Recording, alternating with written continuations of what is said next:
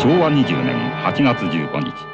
この日は日本人が初めて迎えたあまりにも大きな苦悩と試練の長い一日であった。ご聖断は下った。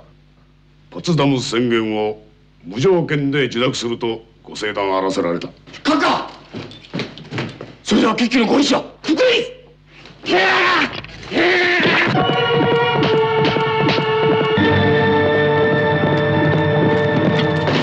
参戦後を自宅して国政の孤児などができるか？いずれにしても天皇の放送が先にあってはどうにもならん。終戦の放送などをさせて食べるか？話せ！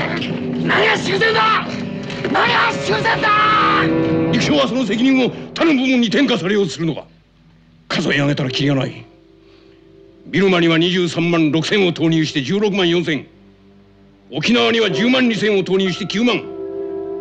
いや沖縄では軍人だけでなく9万2千の一般国民までが私の言いたいのはその点である。何？多くの者がなぜ涙を飲んで死んでいったのだ。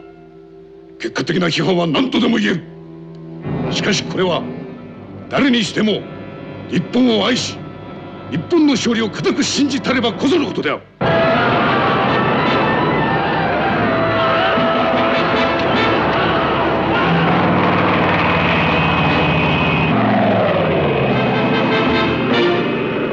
軍の許可のない限り一切の放送はできません。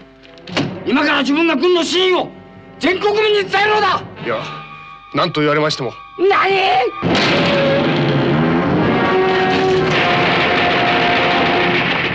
勝つか負けるかはもう問題ではないのです。日本の国民を生かすか殺すか二つに一つの今立っていただかなければ手遅れに陛下の録音が放送されてしまっては全てが終わりになります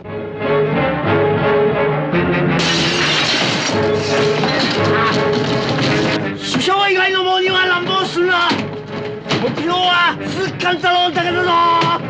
まだ見つからない？いい手向かいするやつは切り君たちだけが国を守ってるんではない。我々国民が一人一人力を合わせなければ。